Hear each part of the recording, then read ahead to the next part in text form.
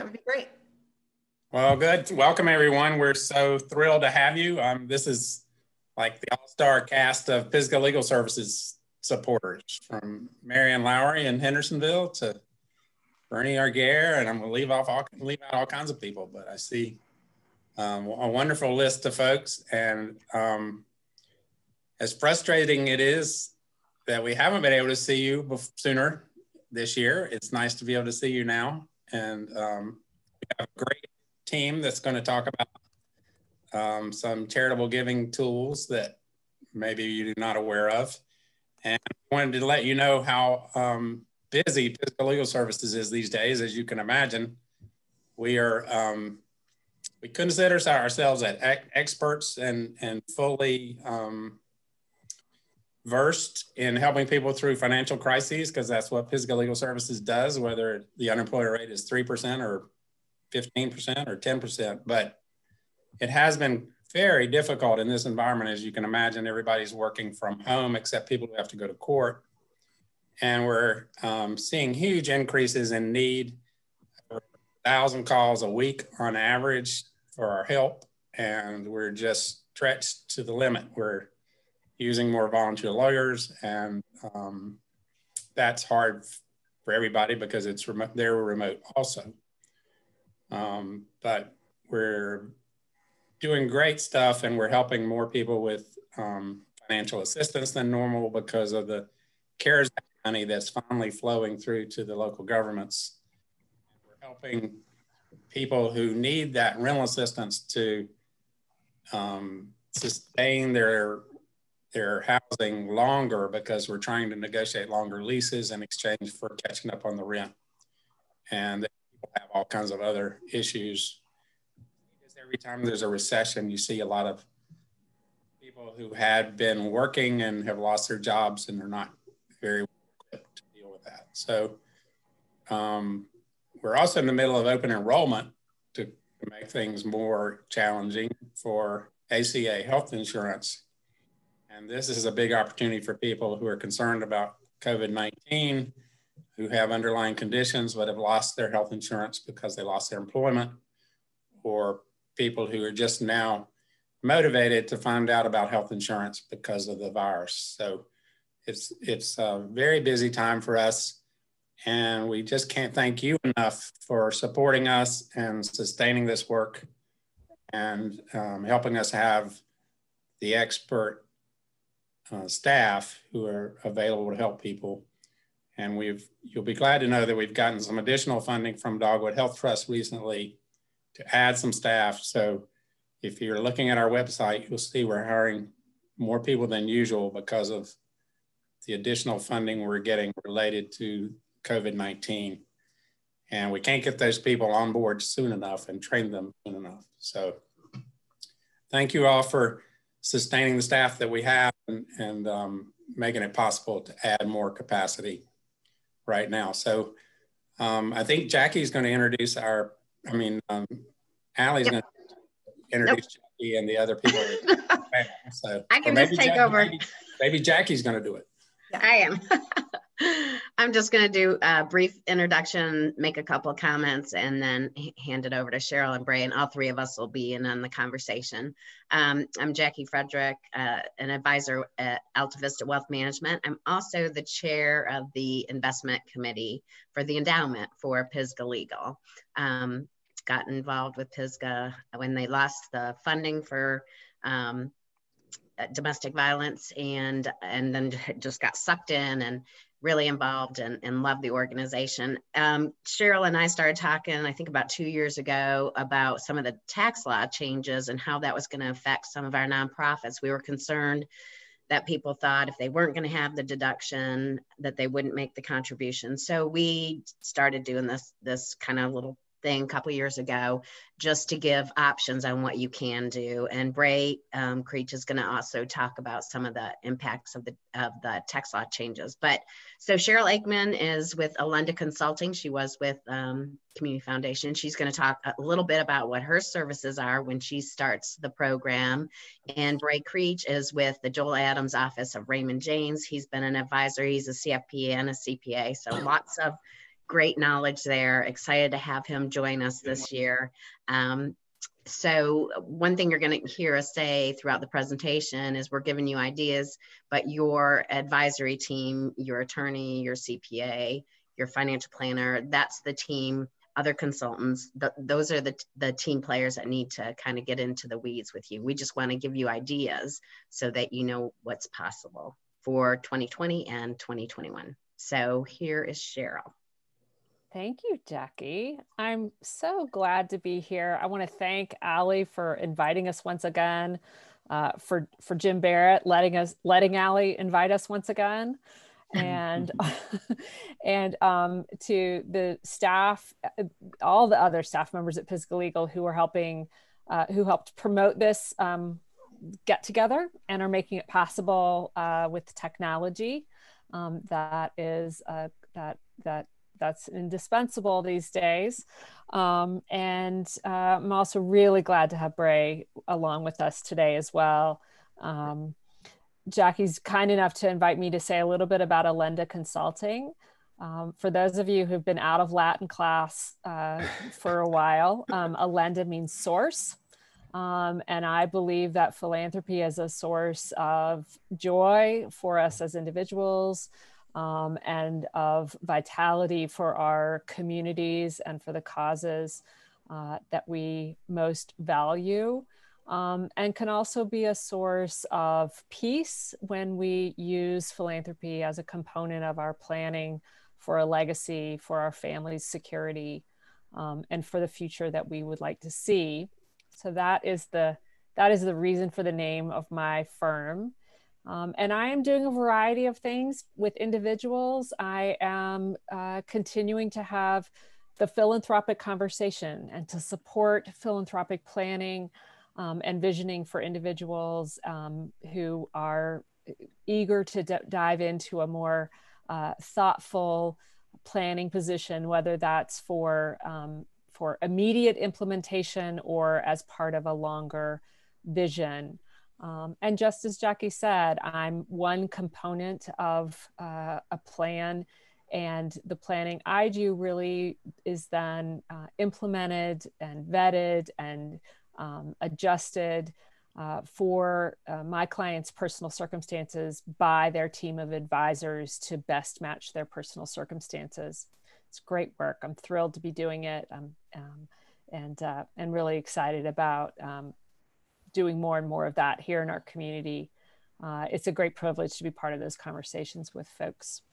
Um, with that, I think we should we should jump in. Um, we're going to start with some ideas for 2020. As the title of the presentation indicates, um, there are a, there are a few a few weeks left, um, and there are some ways to give that are unique for this year um, and that may give you an opportunity to uh, add a little extra generosity for the organizations like Pisgah Legal that have absolutely stepped up to our uh, communities unbelievably wide variety of needs that the pandemic has brought. Housing food uh, care for children um, the ability to have children continue to learn when parents are out of the home working and and school is remote um, all of those things it is the nonprofits and the charitable organizations of our community who have stepped into the breach um, who stepped in um, in the first days of this in march and who have stayed there and been steadfast and um, and adjusted uh, what they're doing and what they're able to do throughout so, gifts from your wallet. Um, your wallet includes cash. I don't know anybody who's touched a piece of cash in the last seven months, um, except my daughter, who has a dog walking business that's very lucrative. She seems to always have cash. Um, gifts from your checkbook. Uh, and gifts you make by credit card. So credit cards count the same as as cash in terms of how um, how they're looked at uh, for tax purposes. Um, the big opportunity between now and the end of 2020 is something that was in the CARES Act. It is a unique opportunity um, that was started for this year. We hope it will go forward. and that is a $300 off the top deduction for every taxpayer for gifts to charity. Typically, if you don't itemize your tax return, you cannot take charitable deductions. That was a law change from a few years ago um, that changed the landscape for a lot of people in terms of how they thought about their giving and um, thought about that on a year to year basis. Um, but this this year they implemented this giving opportunity that works for all. It is a deduction per what they're calling a tax paying unit. So if you are a couple who files a joint return, the limit is still $300. It's not $300 per person.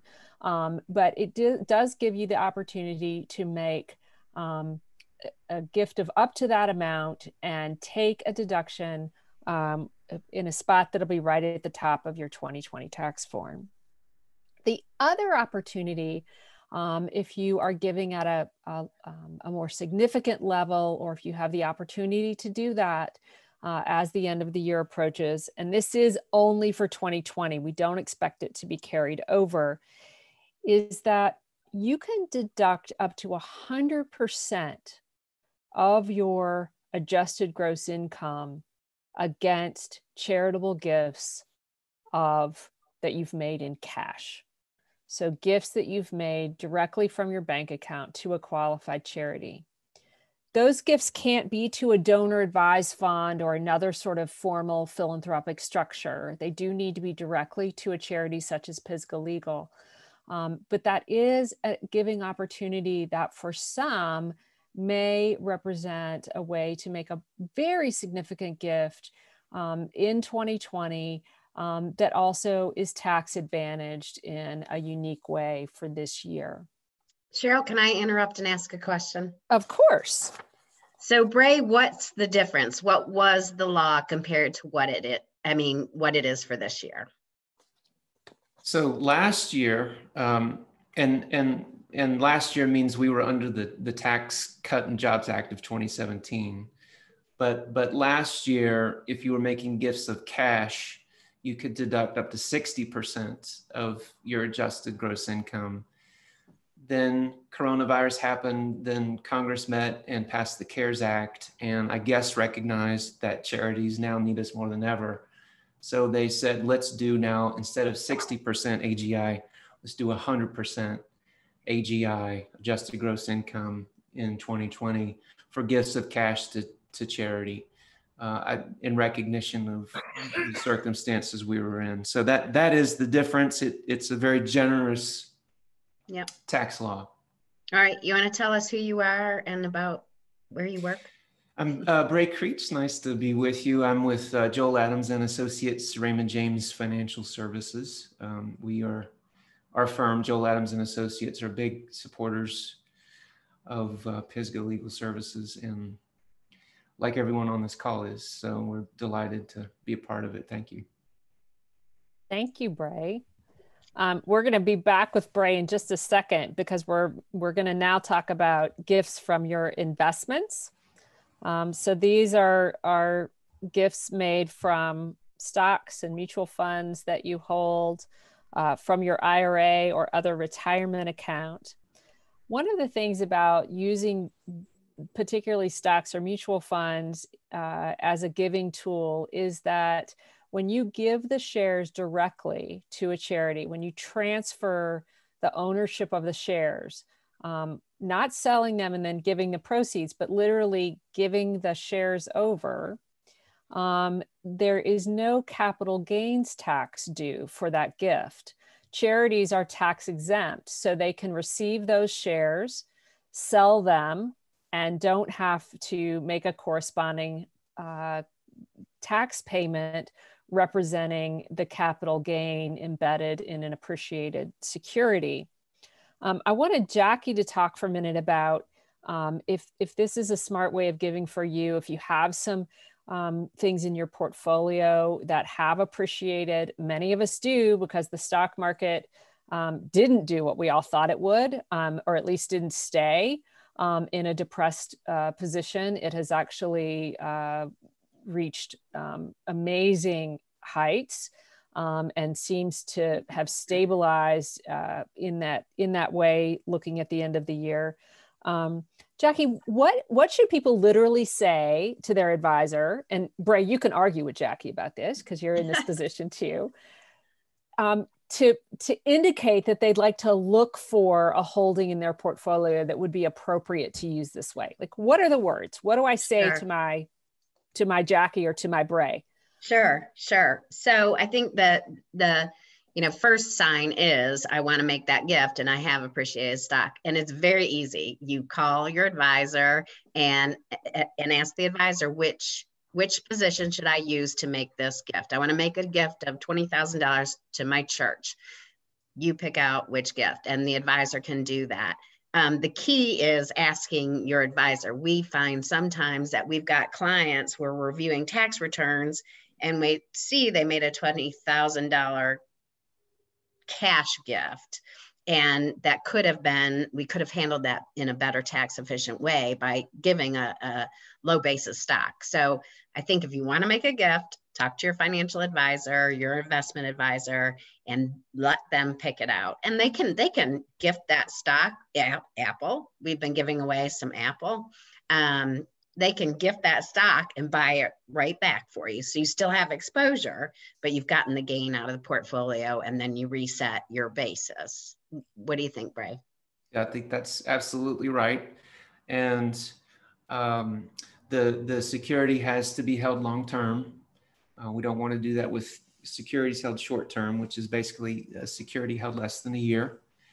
Um, one one thing to be aware of if if your security the stock is usually what i see instead of bonds but the stock if it's in a if it's in a, some sort of a managed account where um, if if that security leaves the account let's say it's apple to keep jacqui's um, example the whoever's managing the account may want to rebalance the account to get it back to where they wanted it to be so so the act of taking it out could, and this is a discussion with your financial advisor, uh, but the act of taking it out could trigger um, a rebalance that may have a little tax consequence associated with it. And that, that would be a question to discuss with your advisor.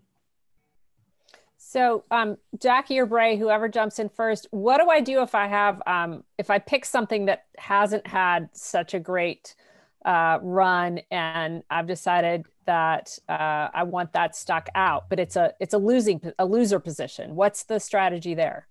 I wouldn't do it. you want to take the loss by selling the stock. Break and talk about that more. Don't don't give don't give a stock away that has um, a loss in it. There's other tax advantage things we can do. Yeah, absolutely. If you have a loss, you take it. That's that's the smart way to do it. That's the smart way to do it. Good. Thank you. I that was what I was hoping you would both say. That's what I, um so but but there are ways to work with your advisor and a charitable giving strategy to to um, adjust your portfolio. Um, and Bray talked about rebalancing and um, and Jacqui talked about maybe doing buying uh, the position back if it's something that if it's a if it's a something you believe in and it's done well for you and that your advisor believes you should continue to be exposed to. Um, and you can do all of that um, embedded with a strategy of using these assets for giving. The other thing that using uh, particularly stocks or mutual fund shares may allow you to do is a strategy called bunching. So many of us now, many more of us than two years ago, use the standard deduction. Um, you may be able to by um, using a donor advised fund making a much more significant range of charitable gifts than you um, than you would in any single year um, or even just taking advantage of this year's um, healthy stock market performance and investment performance um, bunch together some charitable deductions support for a number of charities in this year in 2020 uh, that will allow you to uh, itemize your taxes and use uh, those deductions. Perhaps take advantage of that 100% deduction um, for cash given the strategy. Um, and then maybe in the coming year um, you won't have as many gifts or you won't have as many things to itemize um, but you've but you've taken advantage of that this year and can let it go next year and the year after. Um, it's a way it's it's a way of being strategic about the deductions that are available um, and and the timing of those, um, all woven into your particular circumstance. The other, um, Sheryl, yeah, sorry, ahead, Sheryl, just a, a, question came up about this when we were talking about stock. Uh-huh. Um, Bernie asked, is a tax deduction at your cost basis or at the market value at the time of donation? Good question. Yeah. Right. Who who wants Bray? Bray. You want that? So if if it's held long term, Bernie, it's the fair market value uh, at the date uh, of the gift. Yeah. That's the beauty right. of it. You're getting out of that cost basis trap. You're yeah. that's the beauty of it. And the charity gets the full fair market value, and you get the full fair market value as a deduction. Um, so, particularly when there are capital gains baked in, um, the the cost of making the gift is only you know maybe 75% of what the cost is is to you you're actually giving a larger gift at a lower cost than than com- if you compared that to um, selling that asset and transferring the cash ally this is actually probably a good moment before we move on to talking about iras to say um, for all the folks that are going to call their advisors and say hey, do I have something that would be a good charitable gift? I want to support Pisgah Legal Services. Um, what is the, where do they get the information they need to provide to their advisor to get a transfer to you in a timely fashion before the end of the year? Yeah, good, good question. So for us, if you go to our website, pisgahlegal.org, there's um, a drop down at the top called Ways to Give. And there we have all of our instructions for stock transfers or QCDs, our tax ID number, kind of any of the information that you would need to make this type of gift to Pisgah Legal. We have that on our website. Um, and you can also email me, Ally, A-L-L-Y at pisgahlegal.org, and I can send that to you. Um, we use Wells Fargo advisors, and so we can give you our account number and DTC number to easily make that transfer. Awesome. Thank you. Thank you for making it easy for folks to find that information. Let's talk for a moment about IRAs. Um, a couple years ago, we finally got some clarification. It was actually five years ago. We got clarification on something called qualified charitable distributions. That's a way that folks who are age 70 and a half or older can direct up to $100,000 a year from their IRA account to qualified charities.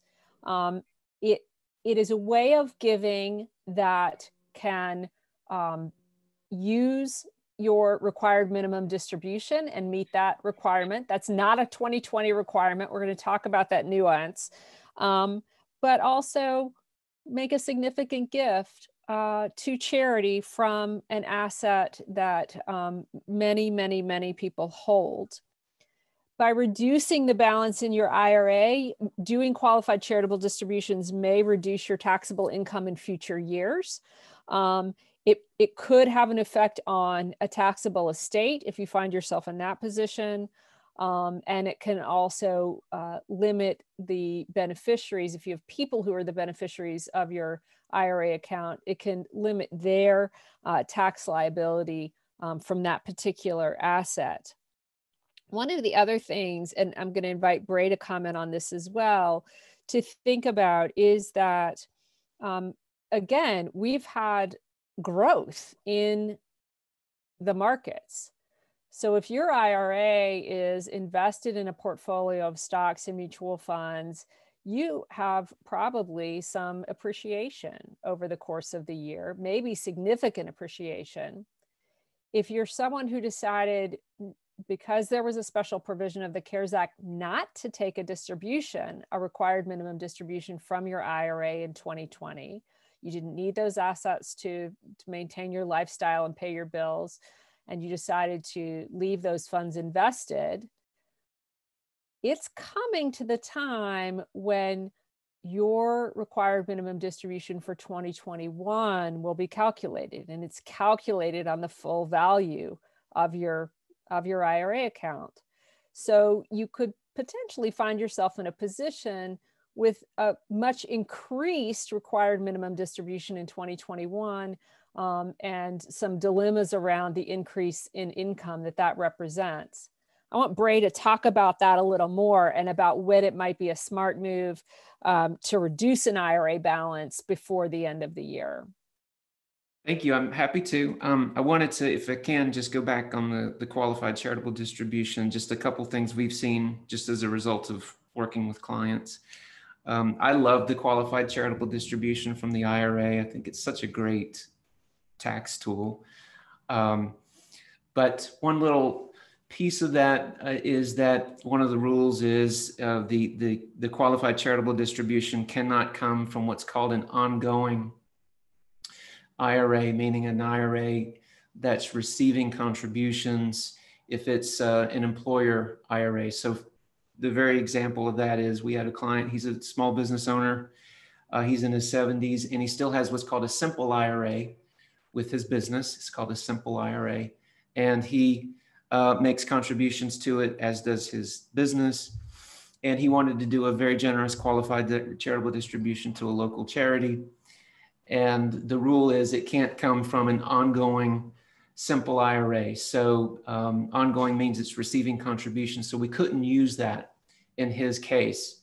Um, he did, however, fortunately have a traditional IRA, a separate account um, that was not ongoing, and we could use that traditional IRA for the for the qualified charitable distributions. That's a little piece that you probably will only see if it impacts you. Um, the other thing I would say is if you're going to do a qualified charitable distribution to a charity from your IRA, especially if it's a small charity or, or a local charity, you might want to let them know it's coming. A few years ago, we found that uh, our office got all of the thank you letters from from the charities um, because they saw in our case the check said Raymond James uh, in our address. And they assumed it was from us. And I, there was a little fine print, little memo line that says it was from a, a client, client's IRA.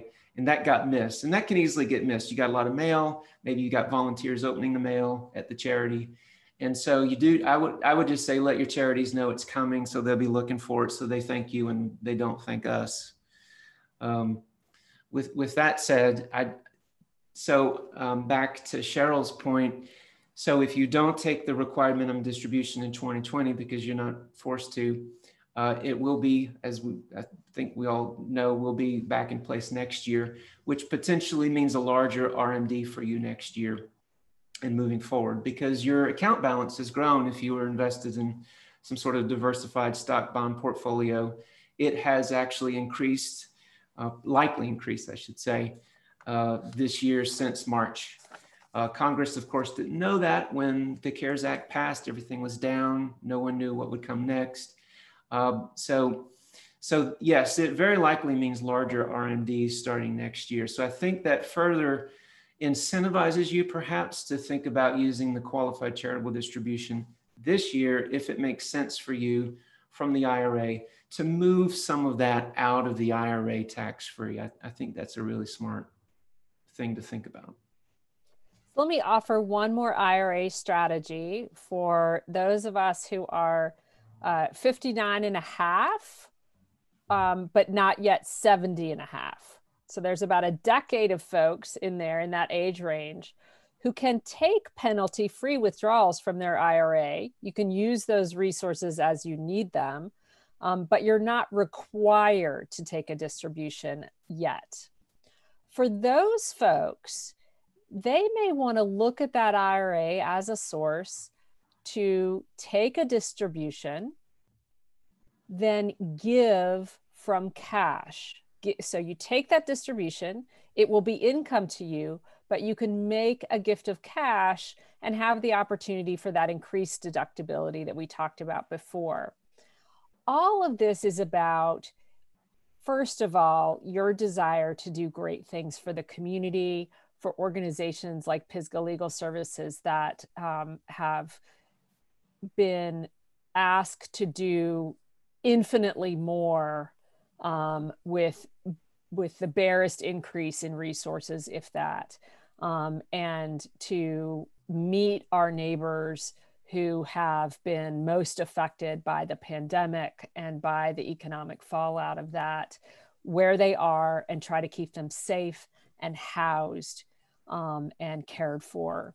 Um, and so, so these are all, um, we're, we're talking a lot about tax and about assets and, um, and, and that, but at the core of it is the fact that some of us have the ability to look at our assets and discover um, with the help of our advisors ways that we can do more than we thought was possible. Um, and that is what the community needs right now. Um, i want to Ally are there any more questions in the chat before we kind of go on to looking ahead um, Not right now. So I think, and we are going to open up. We'll I'll stop screen sharing and we'll all come together. So we'll have a time for questions and answers toward the end of the hour. Um, but let's let's uh, let's move forward um, as we um, as we work through these to 20 to looking ahead to 2021 it, it is going to come. It's going to be here. This this year is going to fade away. Um, and and I want to turn it over to Bray and Jacqui for a minute and um, and ask them from your perspective as as uh, advisors, um, when do you like to have conversations with clients about what they're thinking about? Um, you know, what's the what's the time frame for this looking ahead um, that is that you see work best for clients and for you um, in the largest sense? I'll jump in real quick and then hand it over to, to Bray. Um, our firm and every firm works different. We use the last quarter of every tax year to concentrate on charitable giving and tax planning. Now that's for tax, that's for gifts this year. Like I want so much to go to the church or so much to go to Pisgah Legal, whatever.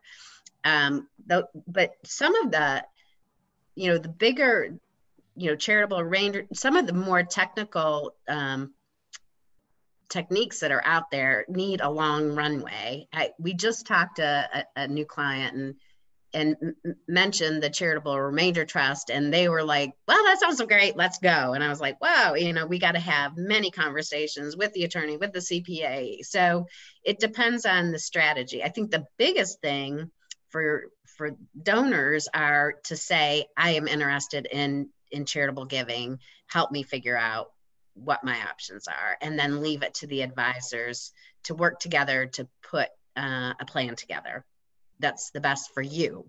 Um, that's my kind of short long answer right?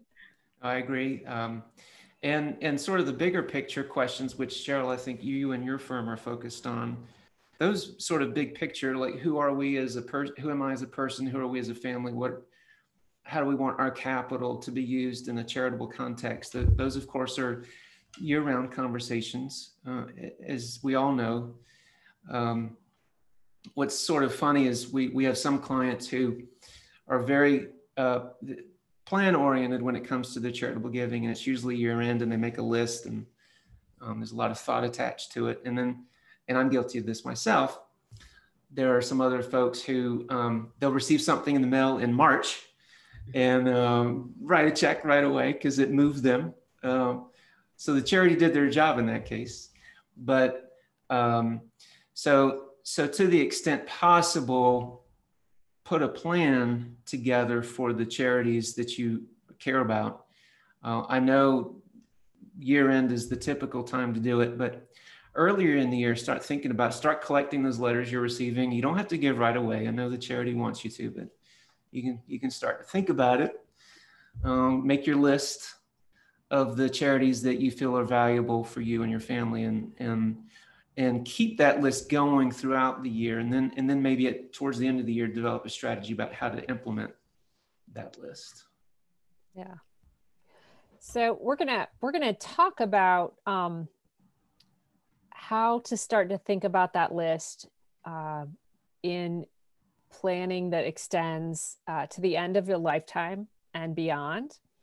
Um, and the first way of giving that is uh, more future focused that I want to talk about is beneficiary designations. Beneficiary designations are the typically it's the last page that you sign when you create a retirement account, uh, when you uh, buy a new life insurance policy. Um, there are a number of assets that are uh, your instructions about what should happen with that asset are controlled not by your will or by what you've told your family members, but by this piece of paper that's part of a policy or contract. Um, so the first task to uh, that I'm going to assign is for folks to go and look at these. Take a look at them and make sure that your um, accounts that are controlled this way um, say what you want them to say. Sometimes things have changed in our families. Um, sometimes things are different in terms of the financial capacity of children or siblings. Um, and and you kind of forget that that person was the person you put on that on that line um, to receive that asset in the event of your death. Um, so the first task is to go and look and make sure it says what you want it to say. Um, the other thing that you can do is to consider making a charity one of the beneficiaries of, a, of an account like this. It's very easy to do. You use the same form that you use for people. Um, you can assign a percentage, um, a dollar amount. Um, you can um, make that contingent on um, being the person being first in line and the charity being second or in other ways. This doesn't affect adding a charity as a beneficiary doesn't affect your ability to use those assets during your lifetime. It doesn't affect what a successor beneficiary who's named ahead of the charity will receive or their ability to use those assets. And it doesn't cost anything. Mo- most of the time, you can get to your beneficiary forms through your account online, or your advisor can help you with that. So it literally it costs nothing to add a charitable provision um, to these kinds of these kinds of resources um, and and know that you haven't taken anything away from family that may need them um, and, or that you are sharing with a charity a proportion of the resources that your family will also benefit for from. Um, again this is retirement accounts life insurance um, there are there are a number of kinds of accounts that are controlled this way, but for most of us, those would be the ones where these forms um, are are most commonly used.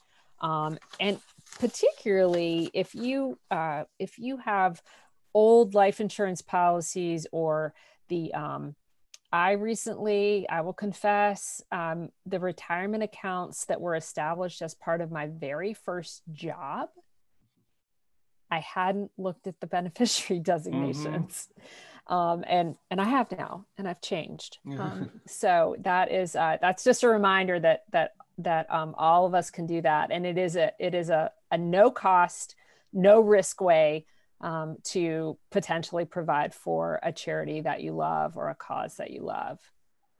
The second thing and this is what a lot of us think of when we think about gifts at the end of our lifetime is gifts from a will or a revocable trust. Um, and that is a way that people have been giving to charity for literally hundreds of years.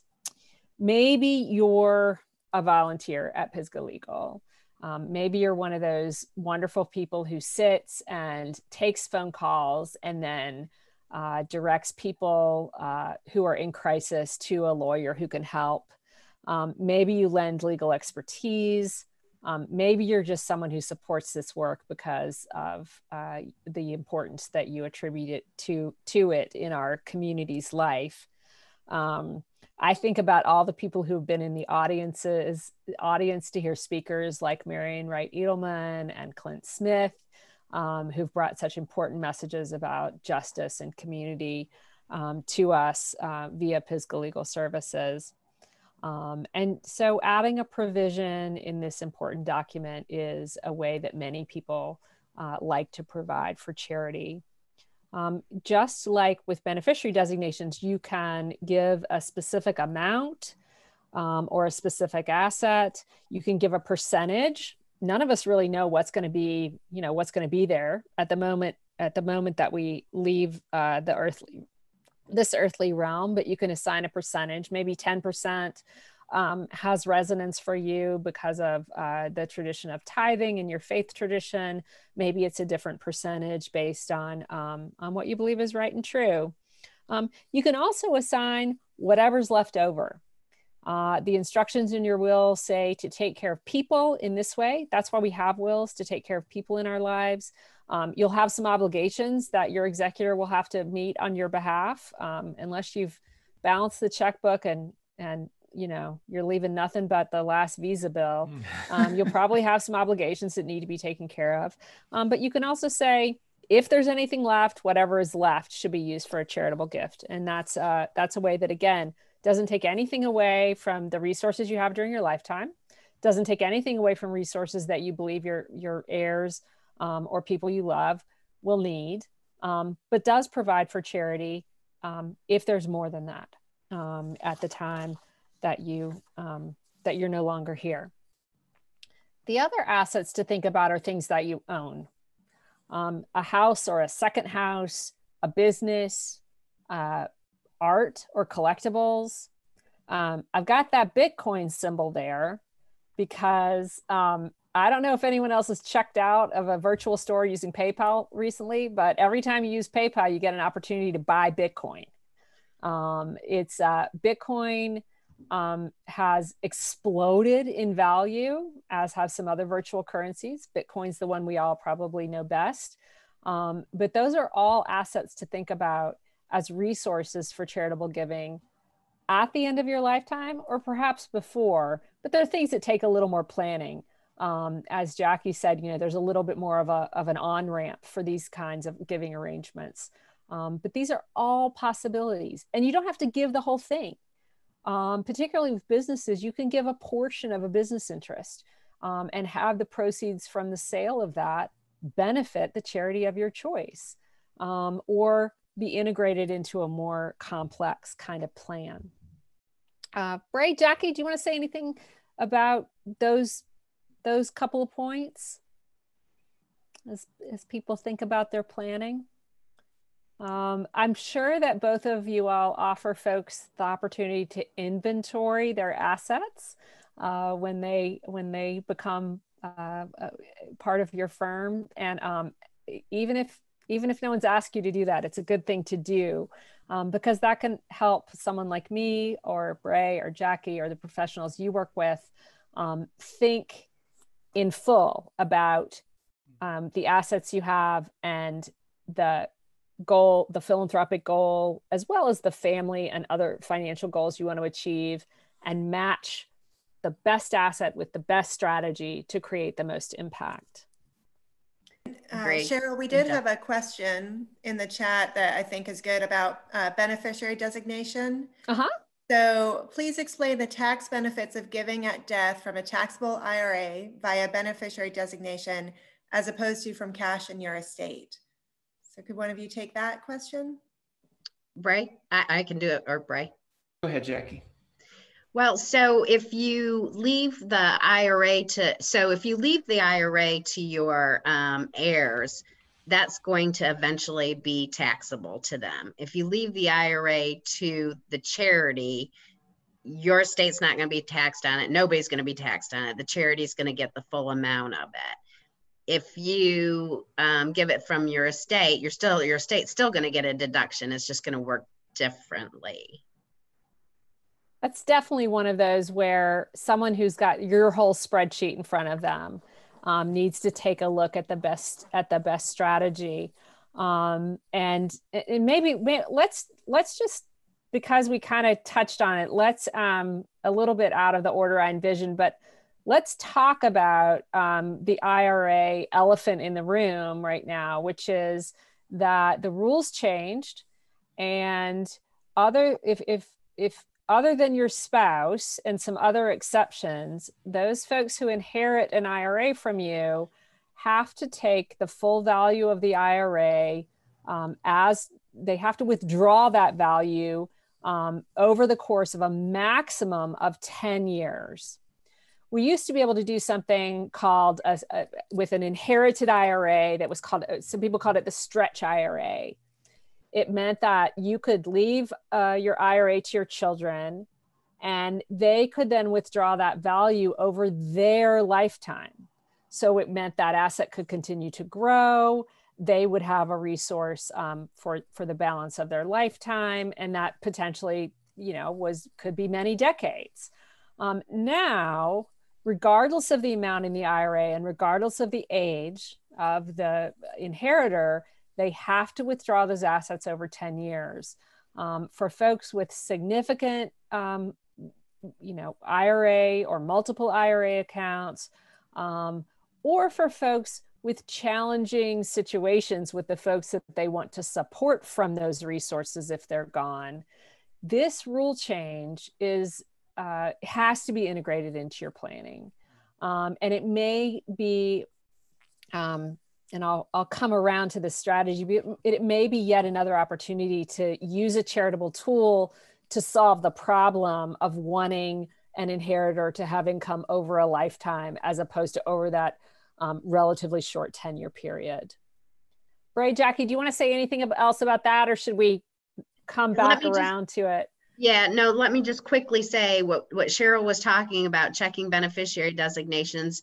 Um, we do that every year in our firm, and, and that's another reason for doing that. You may have somebody, and I Bray, Bray, you guys have been dealt with this. You may have a child that's a beneficiary uh, of, a, of an IRA that should have been, the better planning would have been the spouse because the spouse does not come under the 10 year rule. So right just checking the beneficiaries with your advisor and make sure that everybody understands what you know that that is the best beneficiary whether it's a charity or a children or a spouse. But sorry. Yeah, definitely. Oh i had that I, I totally agree. And one quick beneficiary designation story the importance of checking it. We had a client who received uh, proceeds from an ira from a divorced spouse.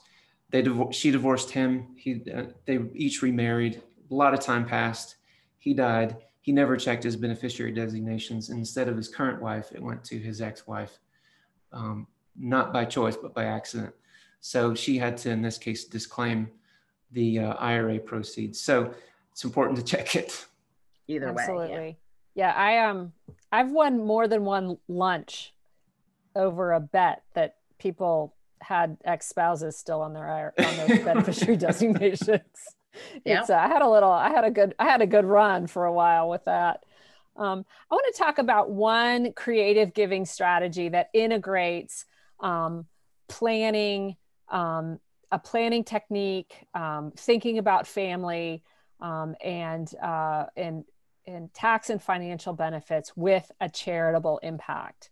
Um, it's a way of giving, and there are really two strategies you can use here uh, a charitable gift annuity or a charitable remainder trust. Um, this is the basic flow uh, represented on the chart. Um, you, the donor, you make a gift um, to, to one of these vehicles uh, during your lifetime. Um, you receive an immediate tax deduction. Um, you receive income payments for typically the rest of your life um, and your gift is invested and managed to create the flow for those income payments. Um, at the end of your lifetime, whatever assets are remaining become a gift to charity, to the charity that you've named in when you establish that gift. Um, it's there are tax advantages. Um, there are char- there's charitable impact, and often what we've seen is this is a way to take uh, an appreciated asset. Um, again, appreciated securities are the most common, but other kinds of things work business interests, real estate. To realize the full value of that asset, reduce ca- or, or eliminate capital gains liability, often you're you increase the income you're receiving because uh, because you you create an income stream from something that really was just a number uh, just a, just a holding in an account that wasn't that wasn't creating any income. Um, and a charitable gift at the end of your lifetime. Charitable gift annuities in particular are extremely flexible. The payments are guaranteed um, for your lifetime. It's a fixed payment, so it operates in the context of your overall financial plan as a fixed income uh, investment. You know what you're going to get quarter over quarter, month over month, um, and that payment does not change. Uh, so it's it's it's from a planning perspective, it becomes a kind of fixed star that you can then uh, manipulate other decisions around. Um, for charitable gift annuities, some of those payments are tax free. Um, and I mentioned the flexibility. One of the things I really like about charitable gift annuities is you can make the gift now and you can actually delay receiving income payments. You can defer the beginning of those payments to another time. Uh, a scenario where we see that used often is someone who is coming to the end of their work life but is still in their in uh, their peak or near the peak of their earning years so they have a lot of income. Um, they're anticipating retirement but don't know exactly when that's going to occur or when they when they'll when they'll want to pull the trigger on that. You can make this kind of gift now have the tax benefit of the deduction um, and then know that those payments are off and ready and waiting in the future when your re- journey to retirement is more complete. Um, or if your income is reduced for some um, some other reason you can turn those income payments on. Um, and at the end um, of your life then the remainder is uh, provided to the charity that you um, have chosen uh, for their work as a part of your legacy. So let me just give a quick example just to get some numbers in folks' heads. Um, let's imagine a couple. They're both 73 years old. Um, they decide to give in this way. They give $100,000. They'll receive a over $35,000 charitable deduction for that gift. And of the, I chose 100,000 because the math is easy. The payments back to them on an annual basis total $4,700. That's 4.7%. That's a set rate um, of 100,000.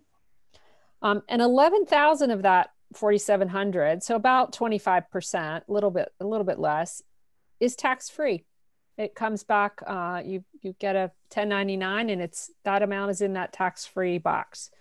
Uh, so this is a these are gifts that can create um, really interesting planning opportunities. Um, charitable gift annuities in particular are not difficult or time consuming to execute and they typically don't cost anything to establish. Charitable remainder trusts can be used for more complex assets or to address more complex situations um, or other kinds of planning parameters, they have a little bit longer of a ramp to establish. Um, but there are ways to create a number of um, positive outcomes that include charity. Um, and it's kind of part of the reason I do the geeky part of this work is I I love to see these um, when you're getting check boxes in all the win columns for something that is um, ultimately going to create a charitable impact. Bray or Jacqui, do you want to add anything, anything to that? I'll go. I, I do like charitable gift annuities a lot, charitable remainder trust too. The um, a decision point, if you decide to go with the charitable gift annuity instrument, is do I want to make the charitable gift annuity directly with the charity? And, and many charities promote them and market them and administer them themselves or do I want to make the charitable gift annuity with some other entity like a charitable trust or a community foundation? Um, and why that matters is that if you do the charitable gift annuity directly with the charity, uh, that's an irrevocable gift.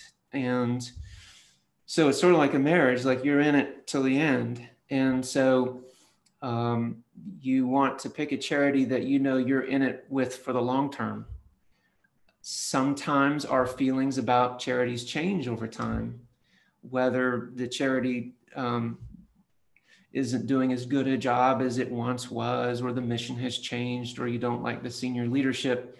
And if you did the charitable gift annuity directly with that charity, you're you're still locked in there. So that's a that's really something to think about um, when you do it. If you did it with a charitable trust or or with the community foundation, you can change in many cases the charities over time. So if one upsets you, you can swap it out uh, for another one. So just just part of the decision tree, I guess. Absolutely, absolutely. The next slide is going to illustrate the concept that we were just talking about around inherited IRAs and this new rule um, that most inheritors, spouses are accepted, uh, will have to take all the assets out of an inherited IRA within 10 years.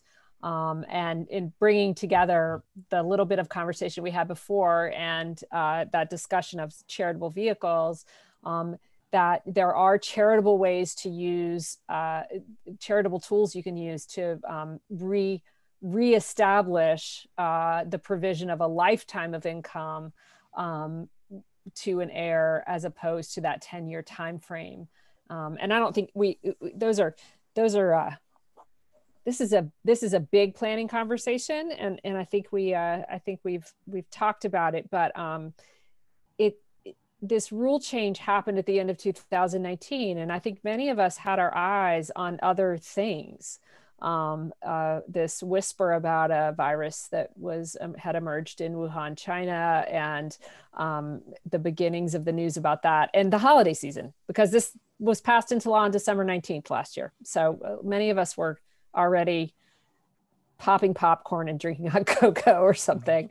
Um, and this is an important conversation to think about if you have an IRA account that names uh, that names uh, non-spouses as beneficiaries um, along the way. Um, and advisors want to talk to you um, about this. Um, this last slide just shows you how to get in touch with all four of us, Ally, Jacqui, Bray, and myself. Um, and I'm going to stop sharing my screen so that those of you who want to can see a gallery view of all the folks that have joined us today. And we can, um, we can, with the help of our technical team over at Pisgah Legal, um, help people um, unmute if they want to ask questions or continue putting your questions into the chat. Um, it is a real, it's just a real privilege to be here with all of you. I'm so grateful to Ally and to Pisgah Legal and to Jacqui and Bray um, for for putting this on uh, with with me and for all of you. Um, we want to be resources uh, to you in every way. Um, and we want to encourage your support of Pisgah Legal and the other organizations in our community that we simply cannot do without. And with with with neighbors who um, who need them more than ever. Um, so with that, I am gonna come out of screen sharing and good job. Back. That was really excellent. Um, there were, you know, we have a few more minutes and there's questions coming in. So let me jump in with one. Thinking about wills, do you need to list a charity sorry do you need to list the charities in your will or can you list them in a separate document that can be more easily changed? Who wants that? You want me to do that? You can do that one yeah. Um you you don't have to. If you're not going to list the charities in your will then you do have to figure out a vehicle um, where the charitable assets can can can pour into um, or, and then be distributed according to some other set of instructions. Um, or if you um, if you have an executor that you uh, that you that you trust, um, you can also give your executor that discretion um, and leave them some sort of instruction about the way you want those assets handled. Um, the executor is not not bound by those instructions, um, but many of us would like to think our executors will do uh, what we want them to do and what we what we instruct them to do. Um, your uh, the attorney who's drafting your will or your other um, advisors are the very best people to to help you with that um, and to to help you figure out what works best for what will work best for you. And then I think that you all answered this in the conversation, but just to confirm, when you're talking about the charitable gift annuities, um, are those life income payments tax-free income? a portion of each payment is tax free, and and the, and that's uh, the the amount is determined by a um, by a, an algorithm um, that looks at the asset you've given um, and and its its characteristics was it cash or was it an appreciated asset um, as well as your life expectancy.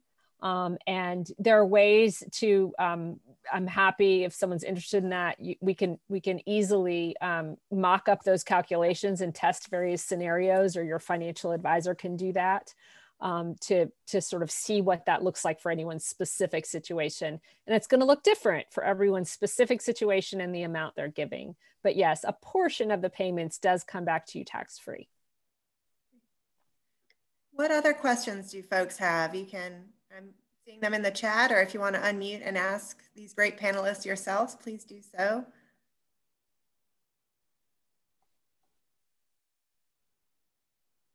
It was so good to see a nice group like this, um, larger than than last year. So, and great to see um, my colleagues and and the donors and the staff at um, Pisgah Legal.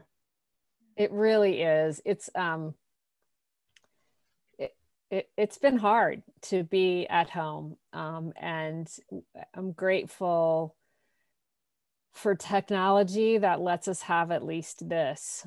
Um, and again, grateful for the opportunity to just share these thoughts with you and encourage you to um, to think about your own plans. Um, you know, I always think at the end of one of these sessions, sure, if someone is inspired to create a significant charitable gift, um, that's great. But if all that happens is someone really um, says, I really do have to get that will finished, or, huh, I should look at those beneficiary designation forms and make sure they say what I want them to say, that that is benefit enough. Um, that that those steps are so important um, so that uh, your wishes are clear and correct. Um, and uh, that's that's that's really the first step for any of this. Sure.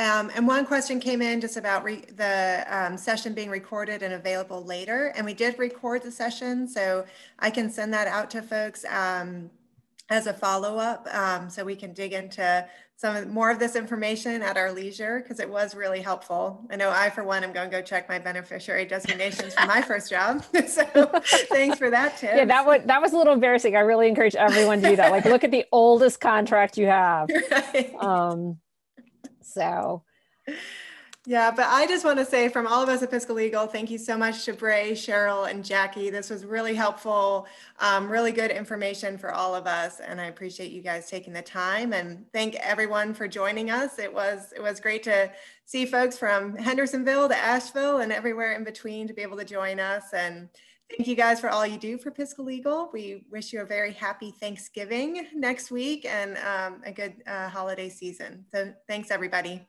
Thank you. Thank, Thank you all. Doing this. Bye. Bye. Bye. Bye.